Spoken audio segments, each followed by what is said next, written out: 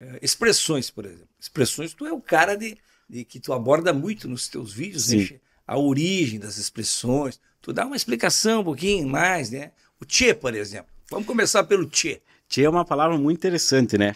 Porque ela tem vários, várias origens e todas elas apontam mais ou menos para a mesma, tá?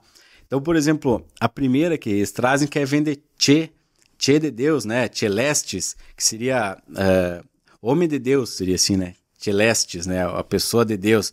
E isso dizem que é portuguesa, que é italiana, que veio da Europa. Outras, que Che vem do, do Quechua ou também do Guarani, onde Che significa eu, significa che pessoa. Che ou Che tanto faz. Tá, porque aí porque o, o Sim. tem, tem regiões, né, a fronteira, por exemplo, lá em Uruguaiana, que é o Che. Inclusive tem um Sim. dicionário uruguaianês do Lorival que se chama Che de Deus. Che de Deus. E não é Che de Deus, é Che de Deus. Então lá em Uruguaiana tem muito essa coisa, né? tem um dicionário com palavras que só tem lá em Uruguaiana, né? Isso é, na verdade, tanto faz a forma que tu utiliza, se é che ou che. As duas estão corretas.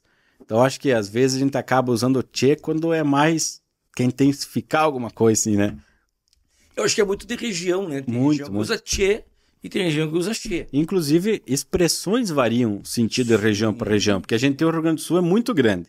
E tem os micro-regionalismos. Por mais que nós somos uma aldeia, vamos falar assim, né? Um, um, tem cada tribo, cada lugarzinho tem seu canto, seu jeito próprio de falar, de se vestir. No dicionário uruguaianês do Lorival, tem mais de 1.200 expressões e verbetes, né? e lá tem palavras que só são reconhecidas em Uruguaiana. Uma delas que eu gosto sempre de falar é o xisme. Xisme. Xisme é uma é palavra uruguaianense. É um xisme. Se perguntar o que é xisme fora de Uruguaiana, ninguém sabe o que é. Que loucura, né? Barbaridade. Diz uma outra aí que tu gosta de, de, de dar explicação.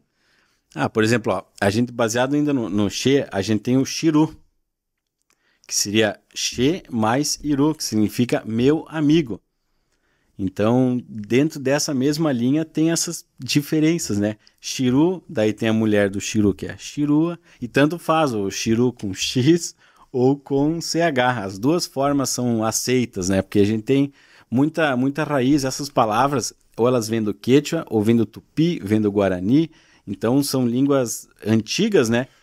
E acabam, estão há muito tempo já incorporadas no nosso vocabulário e que é difícil a gente procurar, né? Ir atrás ali para encontrar qual é a raiz etimológica dele, né? Tu faz esse trabalho de buscar a etimologia Sim. das palavras. Procuro, né? Porque daí a gente consegue entender a origem, a gente consegue ver como que vai se desdobrando, né?